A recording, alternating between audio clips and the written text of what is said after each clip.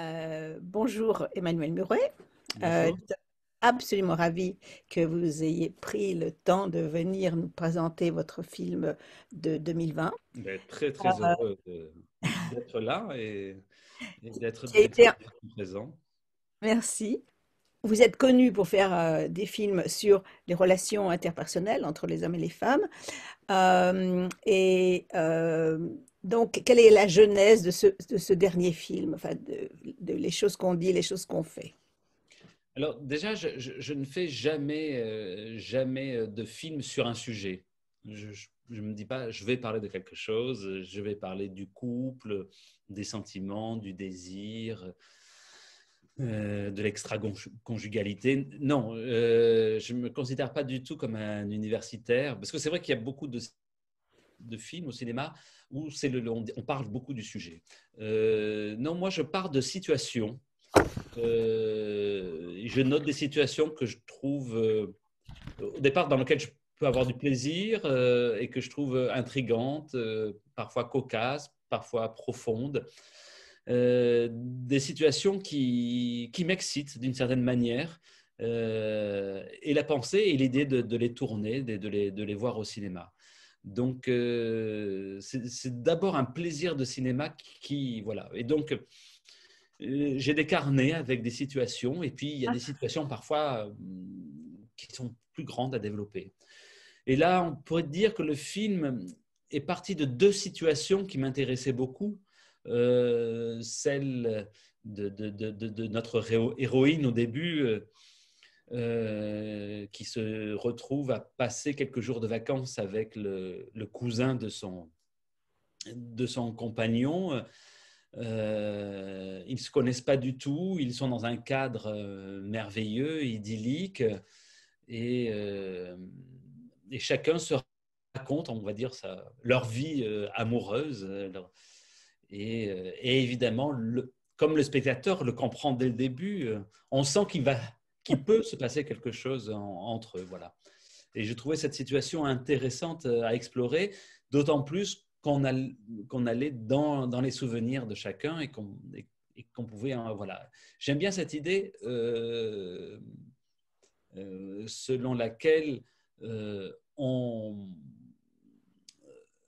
les histoires qu'on se raconte nous lient, créent des liens. Le fait de raconter une histoire crée un lien parce que on échange notre intimité et, euh, ça nous rapproche. L'autre situation, c'était la, situation qu'il y a sur la deuxième partie du film euh, et qui est presque, une, presque conçue presque comme une sorte de polar sentimental. Et la situation euh, qui est surtout incarnée par le personnage d'Émilie de Ken et de cette femme qui, d'une certaine manière, va reprendre euh, le dessus euh, sur elle-même d'une façon un, peu particulière et même exceptionnelle. Et, que cet acte de bonté soit mêlé aussi à euh, de la manipulation, de la machination et une intrigue, comme je disais, quasiment policière. Voilà. Oui, d'accord. donc, c'est ça, m'intrigue cette histoire de carnet. Donc, comment ça vient? Euh, Ça vient surtout des rêveries, je, dirais. Euh, ça peut venir aussi euh, d'autres films, de lecture ou, ou, un mélange. Et je pars d'une situation et puis ça grossit ou j'essaye de, l'explorer un peu sous, tous les angles.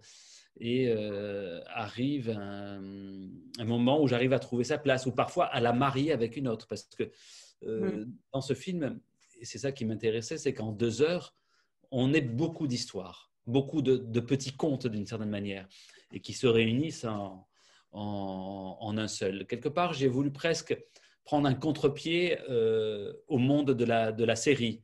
Je crois que vous appelez ça en anglais TV show, c'est ça? Series, TV series.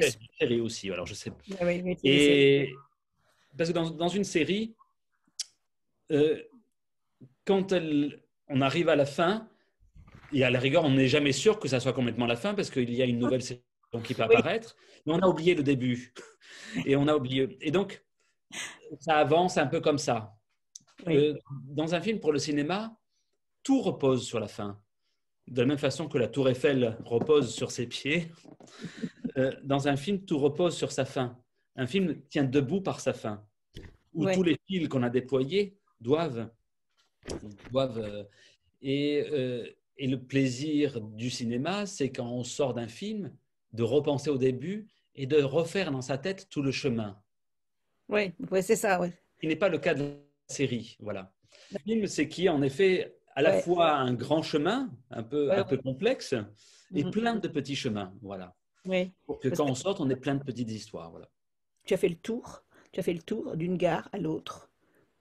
Et ce que j'ai appelé dans ma question une matrioshka, de, des, poupées russes qui s'emboîtent, c'était, c'était, pour moi, c'est ça que ça a fait. Que chaque fois, on pensait qu'on était au bout, puis il y en avait encore une à l'intérieur, et une à l'intérieur, et encore une à l'intérieur. Que... Le film précédent qui s'appelait euh, Mademoiselle de Jonquière était inspiré d'une euh, d'une histoire qui était racontée euh,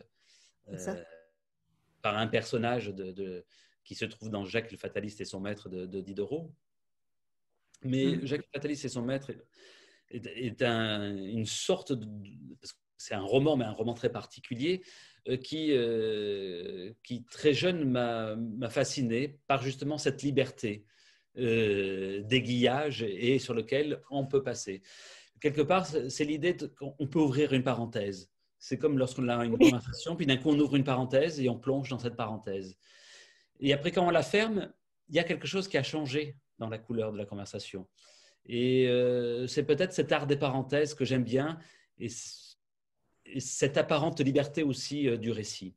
Mais peut-être, pour aller plus loin dans ta question, euh, il y a quelque chose aussi auquel je crois, c'est que euh, si on est chacun d'entre nous le, personnage principal de sa vie, on est aussi chacun le narrateur de sa vie. Ça veut dire que pour vivre, on a besoin de se raconter sa vie en permanence. Et dès qu'il se passe quelque chose, qu'il arrive quelque chose, eh ben, il va falloir se la re-raconter. Le roman de sa vie, on se le fait en, permanence. Et c'est pour ça que l'homme est aussi avide d'histoire. L'homme a besoin de, de, de, de, manger, de consommer des histoires pour construire sa propre histoire. Et on voit des histoires au cinéma, euh, dans les livres, dans celles que nous racontent les amis, les, les camarades. Et cette image, en tout cas cette idée, voilà, me, plaît, c'est-à-dire du fait que nous, les hommes, on est avant tout un tissu d'histoire qui avons besoin encore d'histoire pour, euh, pour nous construire.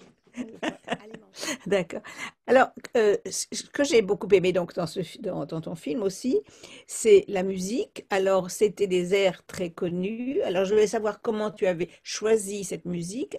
Et je ne sais pas si c'est moi ou si c'était dans le film, mais j'ai trouvé que chaque fois, que dans chaque histoire, il y avait une espèce d'unité de couleur dans, dans les vêtements, dans le, dans le décor, etc. Est-ce que c'est moi seulement qui ai extrapolé ou est-ce que tu avais vraiment vraiment fait ça euh, euh, Non, non. Alors, d'abord, pour répondre à, la question de la couleur, c'est plutôt à la, question de la direction artistique. Euh, et la première fois où j'ai, on, avait commencé sur Mademoiselle de Jonquière comme ça, à préparer le film vraiment. C'est-à-dire que toutes les réunions, presque costumes, décors, images, on les, on, les, on les faisait ensemble. Voilà. Et donc, euh, donc c'est une façon de coordonner le travail pour qu'il y ait une certaine forme d'unité. Et, euh, et c'est vrai que je, voilà, on voulait pas un film qui, voilà, qui soit trop, qui balance un peu de la couleur, un peu. Voilà, c'est ce que j'ai pensé. Que ça voilà, que ça soit choisi et. mais après, ça s'est fait très intuitivement. C'était choisi, mais oui, oui, mais, direction symbolique. Juste... Oui, oui, bien sûr. Je ne pas que c'est du vert ou c'était du vert parce que c'était ça, c'était du jaune parce que c'était ça, non. Mais c'était vraiment, il y avait, une, il y avait une, une, cohésion vraiment dans la, dans, dans, dans, dans la scène. Oui. Elle est dans l'histoire et aussi dans la manière euh, qu'elle est jouée euh, dans les costumes. Euh, donc, bravo. C'est grâce à, en effet à mes collaborateurs et, et bah, bravo, hein. voilà, je trouve que ça... et, non, mais concernant la musique, ça c'est autre chose. Ça veut dire qu'avec le temps, avec le, mon, le monteur avec lequel je travaille, Martial Salomon, on sait que c'est dans on, on, ne prévoit pas la musique qu'on va mettre. Alors parfois le monteur a eu des musiques qu'il a écoutées, notamment il était venu avec pas mal de morceaux de Chopin au début du montage. Et, et donc, lui comme moi, euh, on n'aime pas le, ce qu'on appelle le silence plateau. C'est-à-dire, euh, donc de suite, on met des ambiances. On est sensible, lui comme moi, beaucoup au son, mais dès le début. Donc dès le début, on met de la musique pour, pour voir ce que ça révèle aussi dans l'image. Et c'est un travail aussi euh, très intuitif. Souvent, je dis que la musique est une sorte de, de, de voix off sentimentale. Ça veut dire qu'elle permet de révéler et d'accélérer les choses, comme si elle prenait le spectateur par la main et qu'elle voilà, qu'elle lui montrait. Euh, euh, c'est une façon d'aller plus vite, d'une certaine manière aussi parfois dans les scènes, et aussi d'être parfois plus complexe et, délicat. Voilà. Euh, mais tout ça est un travail intuitif, long, parce qu'on mmh. passe énormément de temps là-dessus. Et au départ, on pensait même qu'une musique originale soit composée, mais on mm. posait la musique pour donner des indications au compositeur. Mm. Mm. Et quand on est arrivé vers la fin du montage, on s'est dit ben, que toute cette variété, quelque part musicale, elle correspondait aussi aux, différents climats de toutes ces histoires qui parcourent le récit. Absolument, oui. Et, donc, on a gardé cette, cette variété. Voilà. Ah, moi, j'ai trouvé ça extraordinaire parce que, alors, donc, si je comprends bien, même donc, quand tu tournes ta scène X, il y a déjà de la musique sur le plateau. Non, non, non. Euh, il n'y a pas de musique sur le plateau, justement. Parfois, quand je tourne, euh, je, je, sais qu'il y aura de la musique. D'accord, ok. Pas laquelle. Quand je parlais du silence plateau, c'est que quand on tourne, on fait le silence et après, quand on écoute les scènes au montage, il n'y a que les voix et le silence autour. Ah, d'accord, ok. Moi, j'ai pensé que. Voilà. Et, et, ça met un climat dans le film qui me semble souvent pas juste. Oui, oui, oui, oui dès le début du montage. D'habitude, les musiques, on les met à la fin du montage. Mais avec mon monteur, dès le début du montage, on, on était, on était des musiques. D'accord, ok. Est-ce que tu vas continuer à travailler sur euh, cette espèce d'éducation sentimentale? Parce que beaucoup de tes films sont des, découvertes sentimentales, des, euh, qui sont quelquefois drôles, qui sont quelquefois tristes, qui sont cette fois dramatiques. Euh, est-ce que tu, vas, tu, tu essayes de faire une œuvre qui soit non, je n'ai pas de, de, de, vision, on va dire, à long terme, et pas d'éducation sentimentale, parce que, euh, ou en tout cas, euh, c'est peut-être même le contraire d'une éducation, ce que je livre, puisque euh, je suis dans la, dans la situation d'un homme qui s'interroge bien plus que quelqu'un qui, qui sait quelque chose et qui aurait quelque chose à, à, communiquer. ce qui m'intéresse, c'est justement quelque chose qui est plutôt de l'ordre de la suspension du jugement. après, où, et quelque part, oui, si les situations euh, de désir et de sentiment euh, m'intéressent, euh, c'est pour diverses choses. C'est qu'à la fois, il y, a, en termes de cinéma, elles, apportent pour moi un, certain plaisir. elles apportent du suspense, parce que qui dit désir entre des êtres humains dit, suspense. Mm-hmm. Mais au-delà de ça, le désir est de suite encadré moralement euh, dans nos sociétés. Euh, et donc, c'est une façon d'interroger l'homme et, la morale, et la morale qui est quelque chose qui est mouvant, qui n'est pas la même pour les uns et pour les autres. Euh, on est dans une sorte de Far West dès qu'on est sur le domaine des sentiments et du désir, où chacun a un peu ses idées, ses opinions, où les histoires sont parfois contradictoires. Euh, et, donc, c'est une façon, oui, euh, d'explorer l'homme et d'explorer, oui, une sorte de, de, de, de mystère de, ce que, de, oui, de, en tout cas, des relations qu'on dit amoureuses, parce que tout le monde euh, sait ce que c'est que l'amour, mais dès qu'on y réfléchit, on, on, on, ne sait plus. Et en même temps, on sait que c'est essentiel. Oui. Voilà, exactement. C'est comme une petite thérapie parce que chaque, c'est chaque fois, un cas de figure différent qui, qui euh, c'est ça, c'est ça qui est intéressant dans le film, c'est que d'abord on est, on est, on sympathise avec les, les, personnages, mais aussi chaque fois on se dit, zut, c'est vrai, j'avais pas pensé, j'avais pas pensé comme ça. Tiens, et, le fait aussi que les, on voit le, recto et le verso, enfin on voit les deux, les deux cas de figure, c'est, c'est, ça, ça met un petit peu mal à l'aise quelquefois. Parce que je, je, dirais qu'une, pour moi, une des des vertus du cinéma, en tout cas du, cinéma que j'aime et des cinéastes que, que j'admire, c'est euh, cette vertu de, du doute, mmh. d'accepter, euh, j'allais dire d'accepter la complexité des choses, celle de ne pas juger trop vite, et celle, et celle d'accepter les contradictions, euh, mmh. contradictions qu'il y a déjà dans le titre. Mais, euh, mais voilà, euh, mmh. ces contradictions, ces apories, c'est tout ce qu'on euh, constitue notre monde, mais surtout, peut-être ce que le cinéma parvient, c'est cette idée que j'aime, ça veut dire à aimer tout en suspendant son jugement d'une certaine manière. Voilà. Ah. et, à quelque part à, aimer cette complexité des, choses, voilà, à aller quelque part euh, euh, ailleurs que dans cette idée de, de, tout vouloir euh, simplifier, mettre dans des, dans des cases, cette idée voilà de qui est les choses qui sont pures, impures, enfin voilà, non. Oui, oui, oui. oui, Le monde est complexe. oui. Et il faut l'appréhender et l'aimer comme ça. Est-ce que ton nouveau film est encore sur les relations euh, euh, Enfin, c'est un film du même genre. Tu, tu, peux nous en dire un peu plus oh, Il est dans une forme très différente. Ça s'appelle Chronique d'une ah. liaison passagère. Alors, liaison, c'est vraiment love affair, je crois, en anglais. Oui, euh, voilà.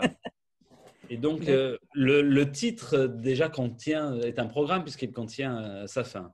Chronique liaison passagère.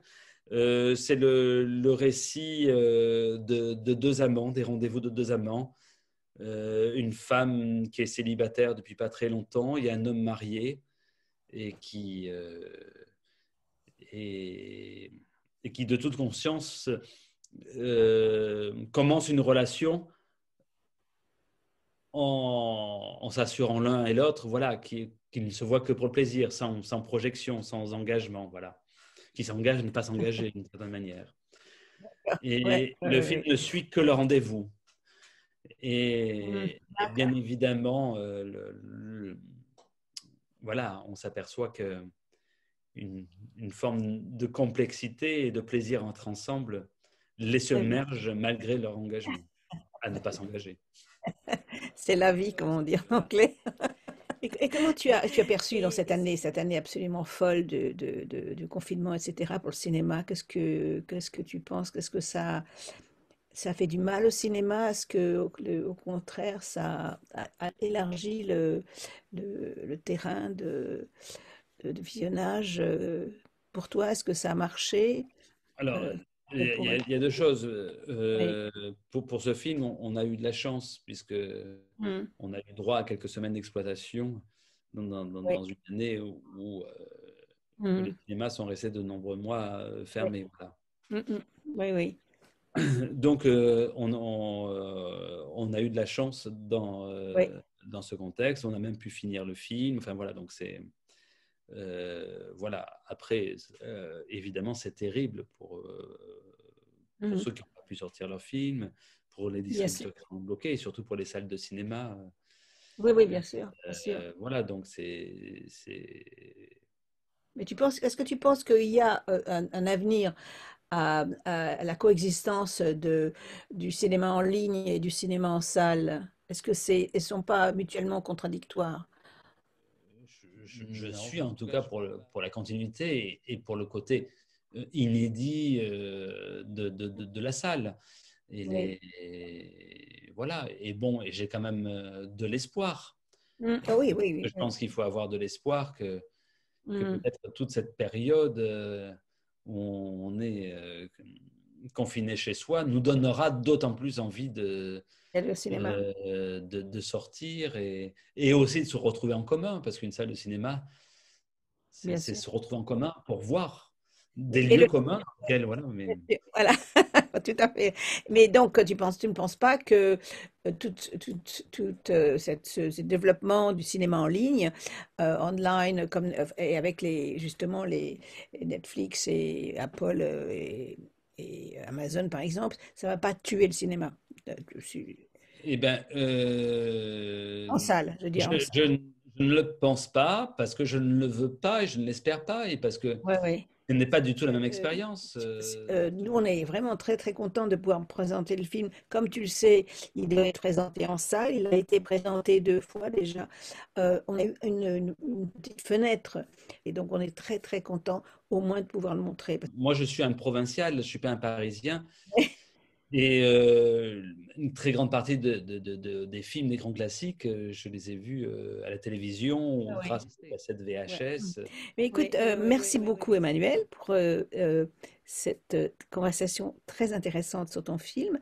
Et je te ferai part des résultats, mais en tout cas, je te souhaite bonne chance pour vos projets. D'accord?